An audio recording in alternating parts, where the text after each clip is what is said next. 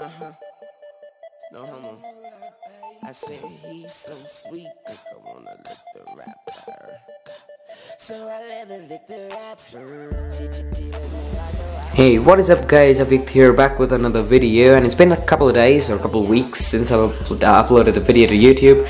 You know, I was busy in my new semester and uh, couldn't upload any kind of videos but here's the one which I edited which was to be uploaded pretty long back but now still it's not too late to be you know cursing myself but still it's here.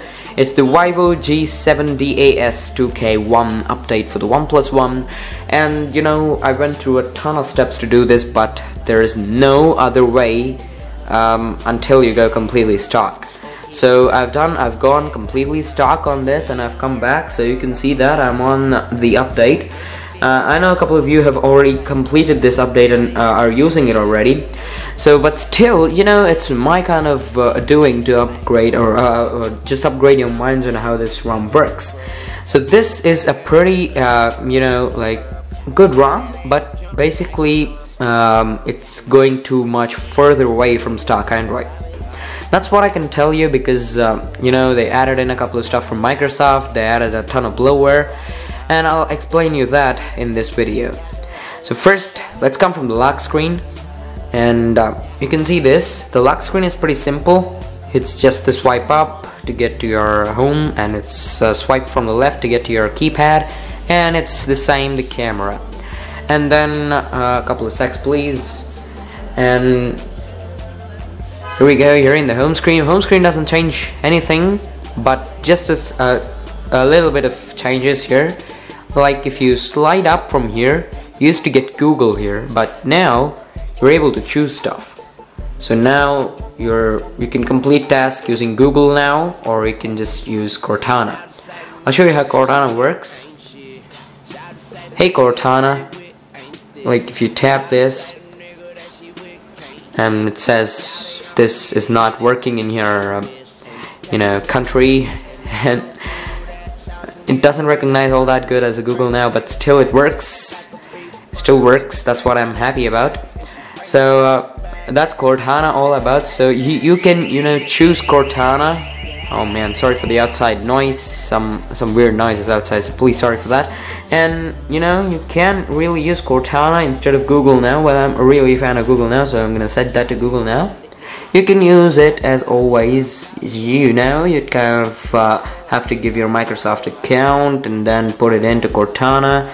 Instead just use Google you know. Google works a little bit fine so hit Google always.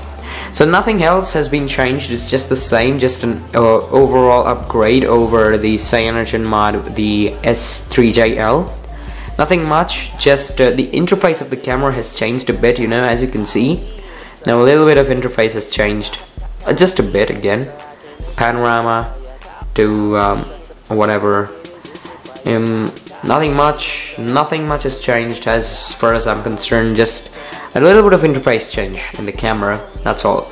You can still record the 4K video, the Epic 4K, but now you can record only up to UHD. There is no DCI for some reason that's add and for you know it sucks sometime because um, some people like to record that in the DCI format rather than the UHD well that's their problem. Let's leave that aside and uh, let's move on further.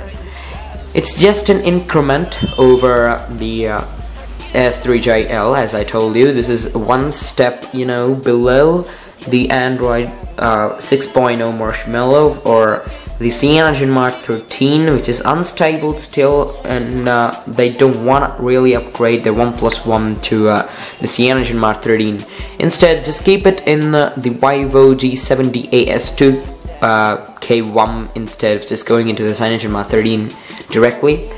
Uh, it's gonna be out somewhere in uh, the February or March probably so uh, please have to wait for that. Uh, you gotta wait for that because uh, OnePlus One don't know how they do it. They're uh, they've already added a ton of bloatware here.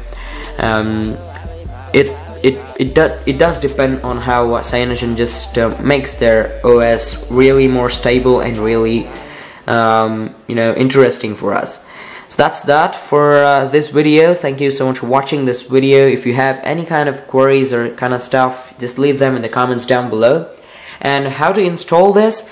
It's pretty simple you're gonna install the uh, uh, the stock recovery and uh, it's from the app called Flashify. As you can see here the Flashify just go into that app. It's available for free in uh, the Play Store if you're rooted.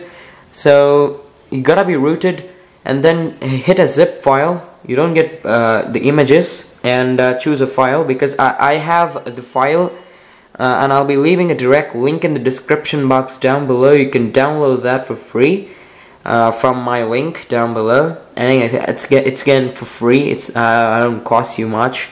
It's not at all costing. So you're just gonna have to go and flash this zip file. Where is it?